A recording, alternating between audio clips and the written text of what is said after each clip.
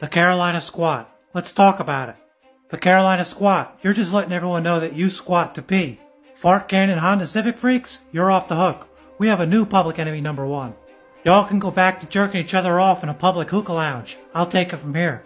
A squatted pickup truck is the telltale sign that the owner survived an at-home DIY abortion.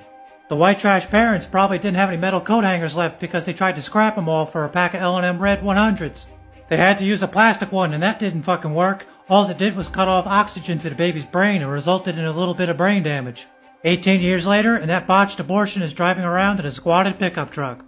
These are consistently owned by frail, scrawny white men named Braden, Hayden, or Jaden. They blast Florida Georgia line on the way to the 9 to 5 job, where they listen to Andrew Tate podcasts and post on Facebook about escaping the Matrix.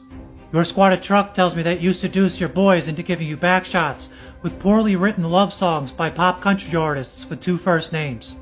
I'm glad that some states made the Carolina squat illegal, however, I don't think that's going far enough. I say if a police officer pulls over a squatted pickup truck, they immediately remove the person from the truck and give them the Rodney King treatment. Somebody's gotta do it. Clearly they didn't grow up with a father figure to keep them in line.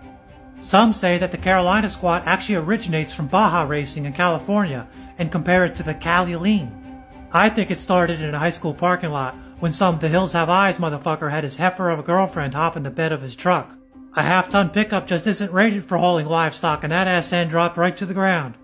Then he threw some big ass wheels on it that cost more than the trailer that he lives in and called it the Carolina Squat. And then the Carolina Squat became the biggest trend in the South since racism.